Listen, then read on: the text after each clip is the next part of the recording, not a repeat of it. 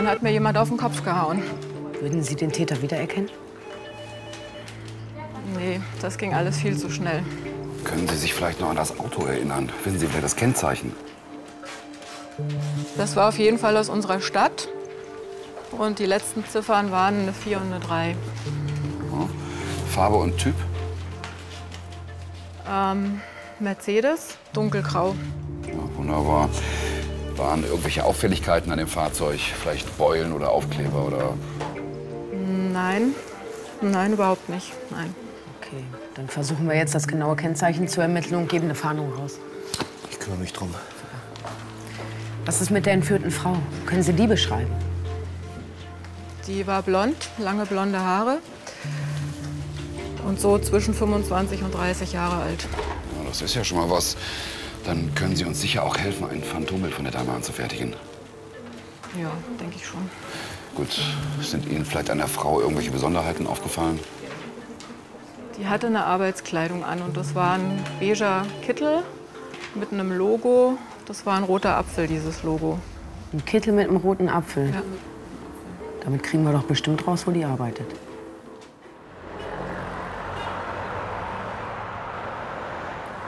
Ja, das ist meine Kollegin, Yvonne Graul. Sie ist heute nicht zur Arbeit erschienen. Wir konnten sie den ganzen Tag nicht erreichen. Sie arbeitet auch als Kassiererin hier. Ist ihr was passiert? Wir müssen im Augenblick davon ausgehen, dass sie entführt wurde. Gott, die Arme. Von wem denn? Ja, das wissen wir nicht. Und deswegen müssen wir möglichst viel über sie in Erfahrung bringen. Wie lange arbeitet sie denn schon hier? Seit circa zwei Jahren. Aber das ist eigentlich ihre letzte Woche hier. Wieso? Wurde sie entlassen? Nein, sie hat von sich aus gekündigt. Wissen Sie wieso? Sie ist schwanger. Und zwar im fünften Monat. Im fünften Monat hört sie schon auf zu arbeiten. Ist aber ungewöhnlich. Hat sie gesagt, warum? Ich weiß nicht. Sie hat nur gesagt, sie möchte nicht mehr arbeiten. Hat sie vielleicht in der letzten Zeit irgendwas von besonderen Vorkommnissen erzählt? Oder ist Ihnen irgendwas Ungewöhnliches an ihr aufgefallen? Doch, doch, jetzt fällt es mir ein. Letzte Woche war ein Typ draußen. Der hat Yvonne beobachtet und fotografiert. Als sie ihn darauf ansprechen wollte, ist er abgehauen. Können Sie den mal beschreiben? Nein, nicht wirklich. Er hatte eine dunkle Brille und ein Cappy auf.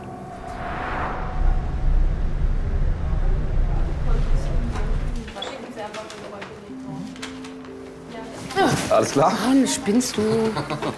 Was ist los? Ja, ach. ich muss an die Entführte denken. Ja, Alex, mach dir nicht so viel Gedanken. Das kriegen wir schon hin. Dann ist sie auch noch schwanger. Hast du die Eltern erreicht? Ja, das war echt keine schöne Aufgabe. Boah, es war schlimm. Die sind fix und fertig. Ja, ist ja verständlich. Haben Sie eine Lösegeldforderung erhalten? Nichts. Das ist aber komisch. Mhm. Bei den Eltern ist auch gar nichts zu holen. Die sind beide Hartz-IV-Empfänger. Die haben keine Kohle. Überhaupt nicht. Also wenn es nicht um Geld geht. Vielleicht haben wir es denn hier mit einem sexuell motivierten Delikt zu tun. Oder das Ganze hängt mit der Schwangerschaft zusammen. Wie meinst du das? Die Eltern wissen zwar, dass ihre Tochter schwanger ist, sie wissen aber nicht, wer der Vater ist. Die Frau hat keinen festen Freund. So. Du glaubst, dass der Kindsvater vielleicht dahinter steckt? Möglich. Ist vieles.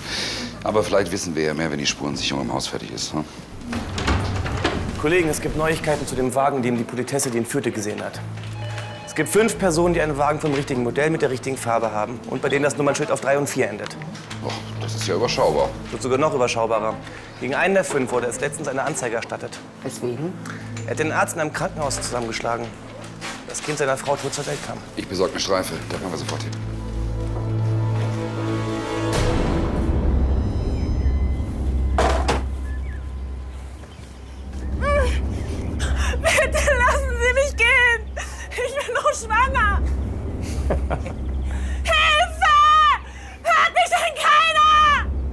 Du kannst so viel schreien, wie du willst. Hier hört dich eh keiner. Nicht. Ich habe alles abgesucht. Der Wagen, den wir suchen, ist nicht hier. Der Typ kann trotzdem da sein. Kollegen, unser Mann hat wahrscheinlich eine Frau entführt und ist eventuell bewaffnet. Also Vorsicht, ja? Bereit? Okay.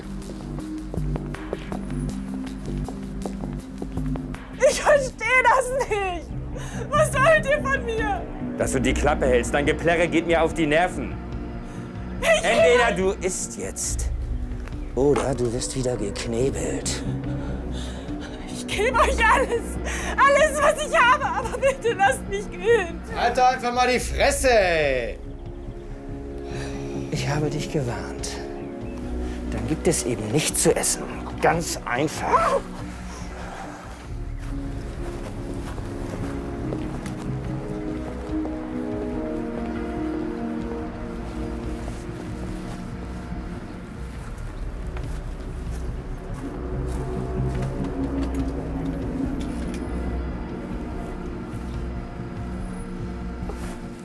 Dann bleibt mehr für uns. Scheiße. Wer ist das denn? Du bleibst bei ihr. Verdammt, glaubst du, das sind die Bullen oder was? Reiß dich zusammen, Mann. Niemand weiß, dass die Alte hier ist. Also, scheiß dich nicht an.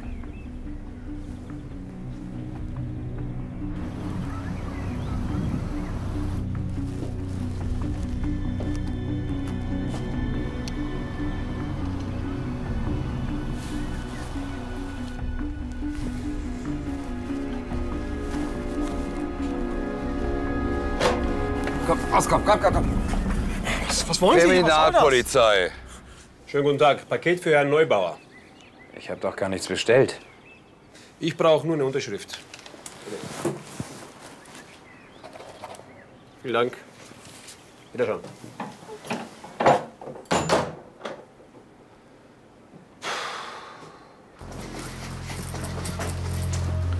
Das Haus ist sauber. Keine Geiseln, noch sonst niemand.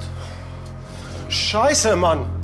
Ich will jetzt endlich wissen, was hier los ist. Ganz ruhig. Und was du hast geredet mit der Geisel? Warum stimmen Sie mein Haus? Ich will jetzt sofort meinen Anwalt sprechen. Das Ja. können Sie gerne machen. Aber vorher, vorher erzählen Sie uns, wo diese Frau ist. Was soll das sein? Die kenne ich nicht. Diese Frau wurde heute mit ihrem Fahrzeug entführt. Wie bitte? Ja. Wo ist Ihr PKW? Das würde ich allerdings auch gerne wissen. Ich habe meinen Wagen eben als gestohlen gemeldet.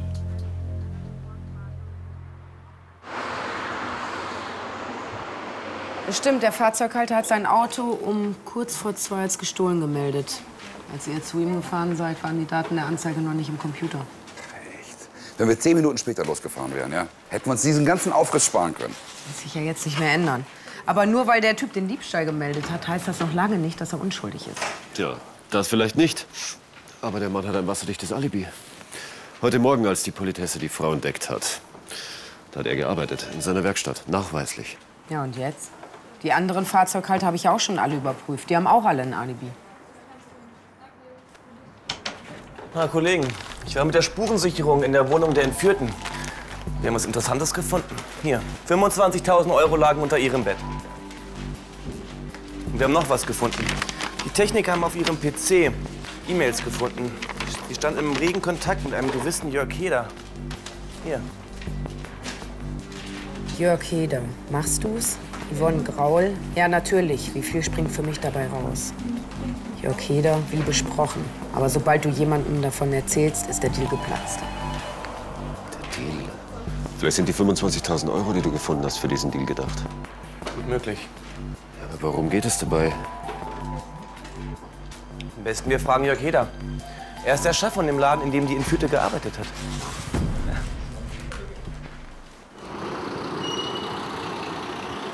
Sagen Sie uns doch mal, was diese E-Mails hier zu bedeuten haben. Ja, ich habe Yvonne Graul die Filialleitung eines neuen Geschäfts angeboten. Sie wollten eine Kassiererin zur Filialleiterin machen. Warum nicht? Sie hat ausgezeichnete Fähigkeiten und gute Qualifikationen. Aber wieso hat sie dann gekündigt? Wenn sie so eine Chance bekommen hätte. Tja, zum Schluss konnten wir uns dann nicht auf das Gehalt einigen. Aber sie schreibt hier, ja, natürlich. Wie viel springt für mich dabei raus? Das heißt, sie wollte es machen. Ja, wollte sie dann aber doch nicht mehr. Sie wollte sich ganz auf die Schwangerschaft konzentrieren. Kann man ja verstehen. Furchtbar, was da passiert ist. Wir haben in der Wohnung der Entführten 25.000 Euro gefunden.